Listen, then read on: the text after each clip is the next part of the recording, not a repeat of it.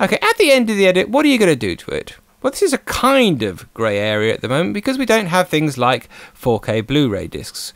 The most obvious thing you're going to do is make up a file and then give somebody the file to play back on a TV, or you're going to whack it up onto the internet. YouTube and Vimeo can actually do 4K video now if you want to. So basically you're going to make a file. In Edius there's quite a few nice 4K output formats. So if I go print a file, you can have a look at all the possible options here. And obviously the first thing we have is Grass Valley's own format, Grass Valley HQX.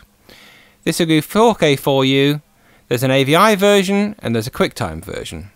It's a free codec, so you can download it and use it yourself, even if you don't have Edius. That means you can make QuickTime HQX files and give them to other people, and they'll be able to play them back on a Mac or a PC. It's a relatively uncompressed format, so it'll make pretty big files, but they'll be nice clean files, and they'll be the kind of files that you'll use if you're going to take the footage from here into, say, After Effects for a bit of finishing off. It's not the kind of format that you use to give to people to play back on other devices. For that, you're really going to use H.264. And in particular, you're going to use this setting, which will make MP4 files. If I click on that, all you do is you give it a name, then you decide on your bit rates. You can go all the way up to 200 megabits. You can do constant and variable bit rate. And then you can do audio, which can be stereo or surround sound, depending on your project settings. On top of that, you also have options here for you for making up XAVC and XAVC-S. Now, XAVC is a format Sony have invented to go with their cameras, and they're bringing out a lot of new cameras which film in XAVC or XAVC-S.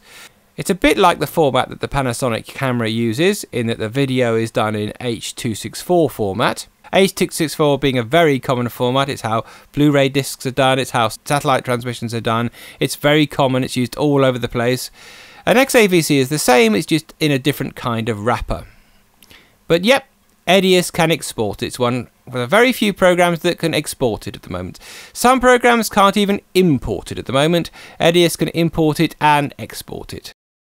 Obviously, you have standard settings which match the XAVC format, and obviously, you decide what your video bitrate is going to be and how you're going to do the sound. And you can either do it straight to a memory card or you can put it into a folder. Grass Valley have done quite a bit of work on this to improve the quality and the speed of that.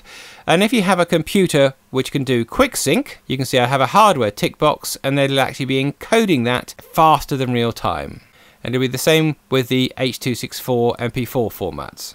The other options you've got is you can do something like QuickTime and you can download a format from Avid and you can use Avid's DNxHR codec.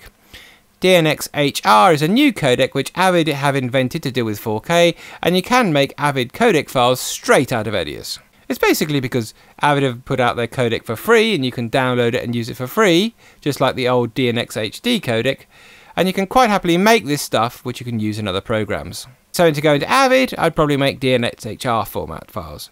If I want to go into DaVinci Resolve for a bit of grading, I'll probably make up some QuickTime Canopus HQX files, because DaVinci happily supports Canopus HQX files. So there's a lot of formats that you can make the video up into. I can't do 4K Blu-ray discs yet because they haven't finalised the specification for it.